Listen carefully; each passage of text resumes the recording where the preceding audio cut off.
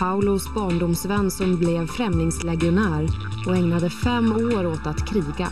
Idag är han religionslärare.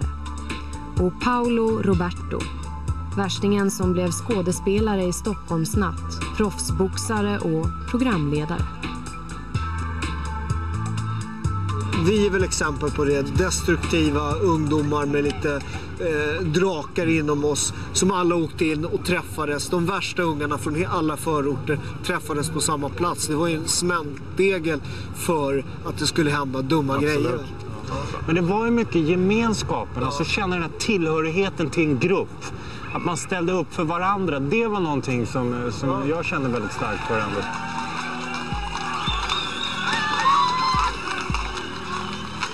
Ur de här kravallerna så kommer hiphop och graffiti, allt det kommer ju härifrån. Och det var egentligen eh, eh, ett element av en hel, faktiskt en hel ny ungdomskultur som föddes ur, ur de här stämningarna som fanns här i Kungsträdgården.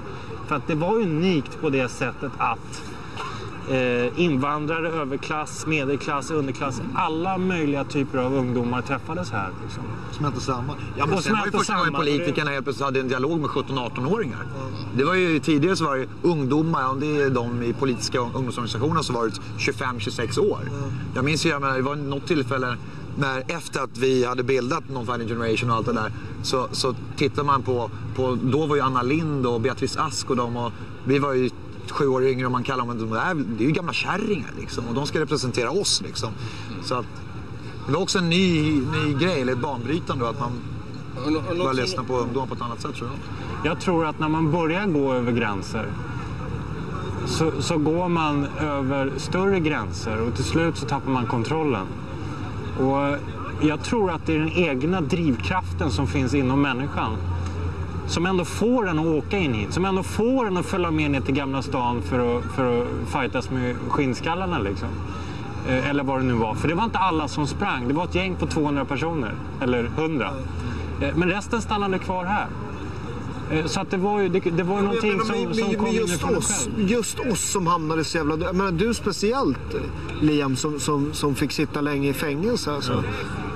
Vad, vad, vad tror du det är som gjorde att du liksom hela vägen? Jag tror att när man börjar gå över gränser så öppnar man upp sig för saker och ting i livet. Alltså, jag ska inte gå för mycket in på andlighet och så, men, men det är så att eh, en upprorisk ande som finns inom en, den växer i takt med att man går över nya gränser och går, alltså, eh, alltså går över eh, lag och ordning och så vidare. Så att det, det, det som någon från början är någonting väldigt på ett väldigt naivt plan blir någonting väldigt allvarligt till slut. Alltså. Egentligen långt tidigare än vad vi tror. Och vi tror vi har kontroll.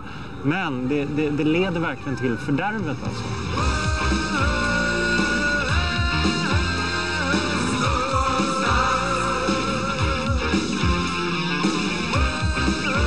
Jag hade aldrig kunnat tro när vi spelade in filmen vilket genomslag den skulle ha i Sverige. Alltså.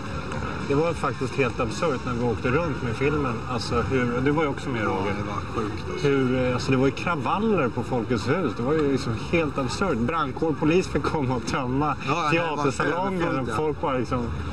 Men jag menar, ibland får man alltid frågan, så här, men Stockholmsnatt, liksom, var den så bra? Inspirerande till våld? Ja. Men nu med liksom så här, lite, ett antal års perspektiv så tror jag att den gjorde en jävla massa nytta. Vet själv, visst var det alltid killar som blev inspirerade och tyckte det var skithäftigt, framförallt ute i landet. Men överhuvudtaget så, så tror jag att de debatter som följde, föreläsningar, det jobbet liksom, kring våld och kring droger och gängbildning och allt som följde i samband mycket med turnén. Både när vi var ute och sen långt senare. Det, det gjorde nytta alltså. Definitivt nytta. För man lyfte upp det här i skolan. Och, och, och man måste komma ihåg att under 85, 86, 87 innan det så fanns det inga diskussioner om de här grejerna i pluggen. Fanns inte det. Men, men, men det här med, med kungen i Kungsan då? De skriver alltid om mig, kungen i Kungsan. Vem var kungen? Ja, fast det var inte riktigt sant. Nej. Eller, nej, men alltså grejen är att det fanns ju ingen kung i Kungsan. Men det var ju Expressen, om jag inte som de skrev om det första, första gången då uttrycket började komma upp. Och det var en självutnämnd kille egentligen som sa “Jag är kungen i Kungsan”. Och jag min- minns, eh, han är ju yngre än oss så att jag vet att vi, vi reagerade så här, förlåt, vilken jävla kung. Och sen blev det ju bara liksom så här, media kom in och körde det racet så okej. Men, men hur fan blev jag kungen? Det, det, det. Det är så typiskt för, för du blev det i samband med, med att det smällde och sådär. Och det är så himla typiskt, eh, vad ska jag säga, nu är man ju själv så gammal, men vuxenvärlden liksom. Att det, det är någonting som har gått fel.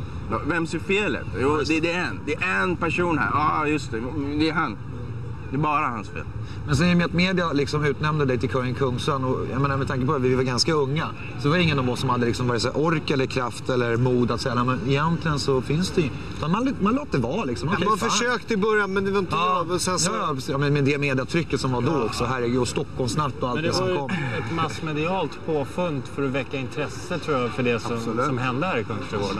jag, menar, jag känner det. Hur mycket man än blir förlåten och, och, och så, så. Så någonstans så finns det alltid ett sår i ens hjärta. Som alltid kommer blöda någonstans. Det läker sakta men säkert. Men det är något. Man förlorade sin oskuld på flera sätt här i Kungsträdgården. Jag känner att det såret är lekt i mitt hjärta idag måste jag säga. Jag gör faktiskt det. Det kanske håller på att läka men det kommer alltid vara kvar i mitt Om det liv. inte vore lekt i ditt hjärta, hur skulle du då ha kraft att vända dig ut i samhället med en hjälpande hand till andra ungdomar? För det gör du väl också?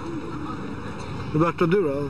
Du har ju varit i militär och allt Ja, För mig möjligt. är det här själsliga gudspratet totalt främmande. Men jag har ju också blivit jäkligt ödmjuk in, inför livet och sådär. Men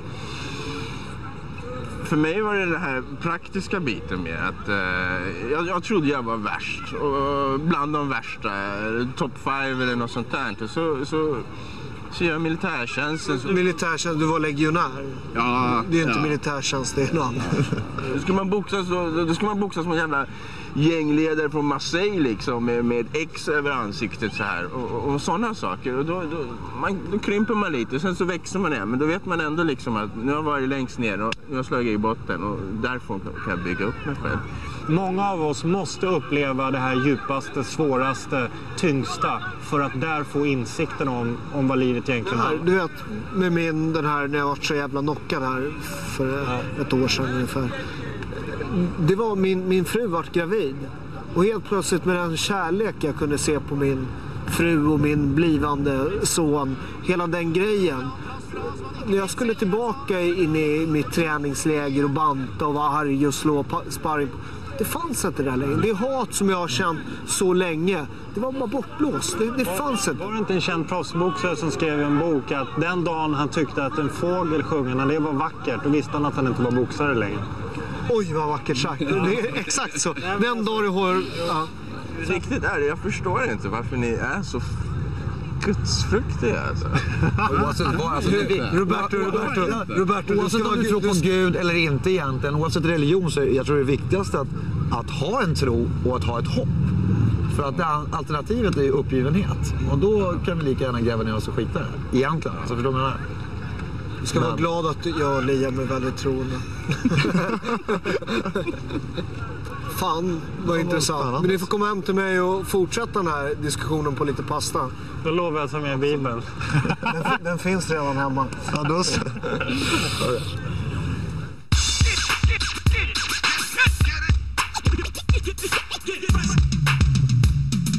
Det fanns väl ingen kung i Kungsan? Det kryllade av småpåvar istället. Det fanns egentligen aldrig någon kung i Kungsan. Alltså någon som var någon slags bosschef eller någonting. Det fanns det aldrig. För, för mig var kungen av Kungsan en kvällstidningsrubrik. Oavsett vem som har blivit utnämnd till kung, oavsett vad kvällstidningarna skriver, finns det bara en kung i Kungsträdgården. Ett lejon ibland krukor, Kalle Dussin.